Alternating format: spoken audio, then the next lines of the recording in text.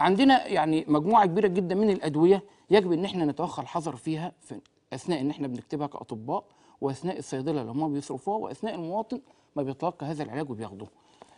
على سبيل المثال المسكنات بأنواعها. الكورتيزون. طبعا المسكنات ده موضوع كبير جدا.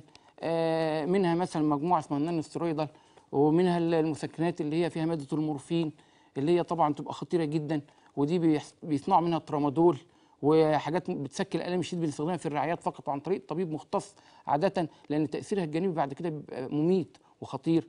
آه، المسكنات طبعا هي مجموعة النون سترويدال دهيات لها تأثيرات جانبية كتيرة جدا.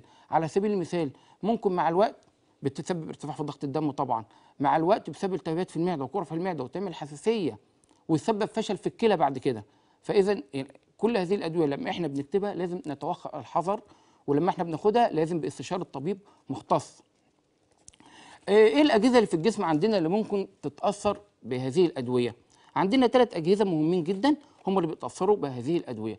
أول جه... أول حاجة الجلد عندنا. الجلد بيحصل فيه آه، طفح جلدي آه، تورم وبعض الأحيان التورم ده بيحصل في الوجه و- والقصبه الهوائيه والبلعوم ممكن يؤدي إلى اختناق ويمكن يؤدي إلى موت المريض خاصة في الأدوية اللي فيها حساسية شديدة جدا زي البنسلين ومشتقاته.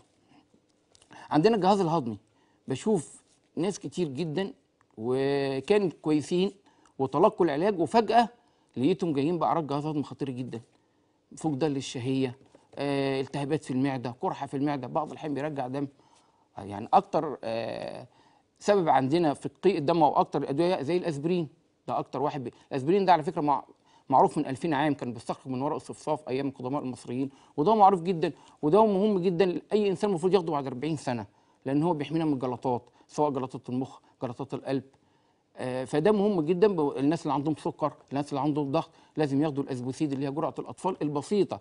بناخد مثلا تركيز آه، 75 آه، في 81 في 100 مللي جرام. مش ناخد بقى من نفسنا وناخد على المعدة الفاضية لا بيتاخد بعد الوجبة الرئيسية اللي هي main meal. بنقول الوجبة الرئيسية اللي هي بعد الغداء مثلا. تمام؟ والمفروض الإنسان بياخده ويتمشى بعديها برضه.